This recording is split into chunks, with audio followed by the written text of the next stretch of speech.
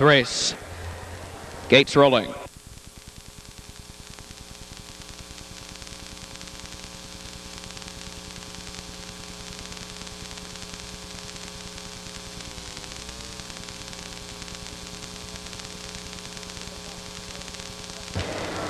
Here they come for the second division of the Illinois State Fair Filly Trot Championship Final for three-year-olds.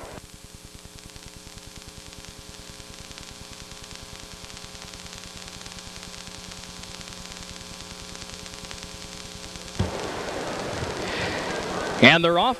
Rosie Posey gets the early lead. Colors of the Wind comes out trotting in second. BG's Jesse is away third. There goes Can Holly trotting fourth up on the far outside as the field moves into the first turn. Cardinal Lexie is away fifth, just in front of My Happy Dream, who settles sixth on the inside. Swiss Silk is away seventh. My Happy Dream is on a break.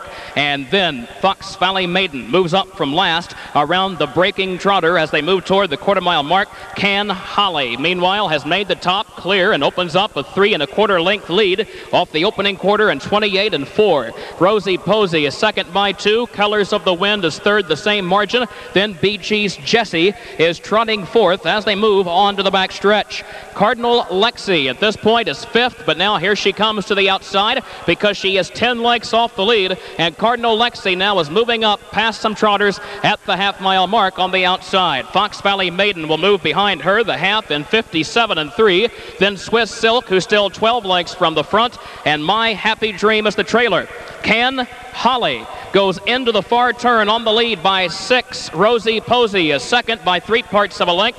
Colors of the Wind is off the rail and moving up third. Cardinal Lexie is fourth on the outside behind her. A gap of three more to BG's Jesse and Fox Valley Maiden. But Can Holly has the lead. Although the lead is diminishing, it's now down to a three-length gap. Here comes Colors of the Wind. Now she kicks into another gear. Past the three-quarter and 127 and 2. Colors of the Wind on the outside is coming after Can Can Holly. Cardinal Lexie, who is still four lengths off the lead, will have to go to the center of the track. Rosie Posey is fourth. Can Holly is game, but Colors of the Wind has collared her at the 16th pole. Cardinal Lexie is trotting a storm. Cardinal Lexie getting the lead. Cardinal Lexie, a well-timed victory for driver Dave Magee. Cardinal Lexie wins it by a length and three quarters. Then it was Colors of the Wind second ahead over Can Holly, who was a game third in 157.